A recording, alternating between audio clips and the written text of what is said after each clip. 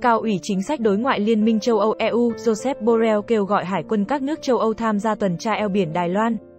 Lời kêu gọi này xuất hiện trong bài xã luận được đăng trên tuần San Journal du Dimang của Pháp hôm nay 23 tháng 4. Và một lần nữa lặp lại những nhận xét vào tuần trước của ông về vai trò quan trọng của Đài Loan đối với châu Âu. Cao ủy Borrell nhấn mạnh Đài Loan quan trọng với EU về khía cạnh kinh tế, thương mại và công nghệ. Đó là lý do tại sao tôi kêu gọi hải quân các nước châu Âu hãy tuần tra eo biển Đài Loan để chứng tỏ cam kết của châu Âu về vấn đề tự do hàng hải ở vùng biển vô cùng thiết yếu này, ông giải thích.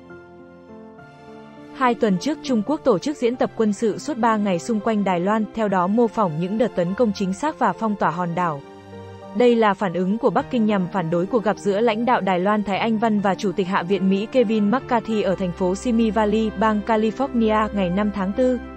Ngày 18 tháng 4, trong bài phát biểu mở màn phiên tranh luận về Trung Quốc tại Nghị viện châu Âu, ông Borrell khẳng định Đài Loan rõ ràng nằm trong phạm vi địa chiến lược của châu Âu để đảm bảo hòa bình.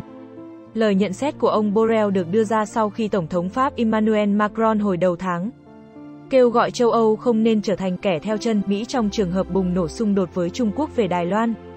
Phát biểu của ông Macron sau khi kết thúc chuyến thăm Trung Quốc đã vấp phải chỉ trích của không ít chính khách Mỹ lẫn EU. Cảm ơn các bạn đã xem bản tin.